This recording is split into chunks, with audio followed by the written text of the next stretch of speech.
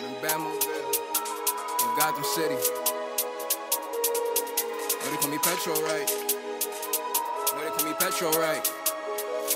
Huh. You ain't know they call me yeah, Petro? I'm in Gotham City in a Batmobile. Even though it get crazy, niggas don't talk like Swayze. When I shoot my shot, it switch, don't play me. We on that block from the night to the noon. Don't talk on that cause you know it's not cool. You thought they was lying, whole time they was telling the truth. You hang yourself and you ain't need a rope. The party bustin', that shit not a coach. I switch it up so they call me the GOAT. Don't follow. What up? This is Swayze, and I am back, my people, with another quickie. So you already know what it is. Assume the position because we about to get right. But before I get into the video, let me reintroduce you people to one of my reoccurring best friends. And his name is Manuel. And first things first, if you know someone that has a hundred thousand dollars laying around in their crib, what would you do? What would you do?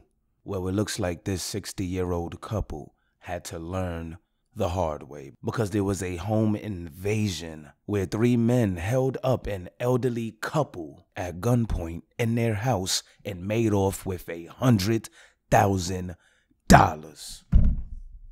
Oh my God. Now I'm gonna let you guys check out this clip and I'll be right back with my commentary. A man pretending to make a home delivery in the Bronx pulled out a gun and forced his way inside when a 62 year old man answered the door. He took the man into a back room, tied him up, and held him and a 61 year old woman at gunpoint while two other people stole $100,000 in cash from the home.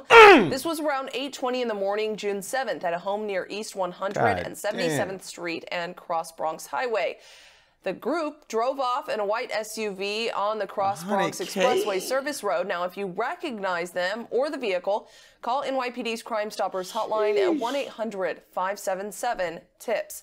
Katie Johnston for CBSN New York. Wait, hold on. So let me get this right. If I know the vehicle and I hit up 1 800 577 TIPS, am I going to get at least half of that $100,000? These are the questions that needs to be answered. But all jokes aside, bruh, I think what we're dealing with here is another setup.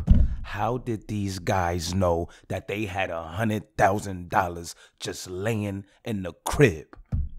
How? This ain't a coinky dink. They didn't just go any, mini, miny, mo and pick the right crib that happens to have a hundred thousand dollars in it. It was a setup. But if you ask me, I think this setup is even more shisty than you think. On a hundred thousand dollars. Who knows? Being so proud of their accomplishment, they probably told a few family members. And those family members probably told other family members. And next thing you know, word gets around town that Miss Betsy and her husband got a hundred K under the mattress at the crib. That's a hundred thousand dollars. That's life changing money right there. There's niggas that's willing to take a risk for $1,500. You think niggas ain't about to run up in grandmama crib for that 100K? Shit, one of the grandkids could be in on it and say, yo, just get that 100K and give me five so I could get some Amiris. That's all he wanted. Just some Amiris. But pull up in the comment section and let me know how you feel about this situation. Can you imagine losing a 100K of your hard earned money just like that? Just like that. Let me know how you feel, but if you like the video, don't forget to share, subscribe to the channel if you're not already, and make sure you hit that notification button. But I'm off this. Yo, when I seen the videos, yo, Swayze had some guy named Swayze TV had like the rise and fall of Famo too, and I'm like, yo, what the fuck? I'm just like, yo, what's going on? Nah, like, yo, they be damn. for me, gang. Whoa. Gangster. Niggas be posting videos from years ago. Right, and I just see, you know what I mean, mad shit. I'm like, yo, Famo's crazy. Like, I definitely gotta get into